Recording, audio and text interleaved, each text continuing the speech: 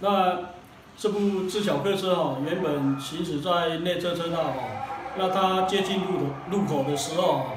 那突然变换车道要右转哈，那造成右边机车骑士哦反应不及哈，造成擦撞哈。那在这边要呼吁驾驶人啊，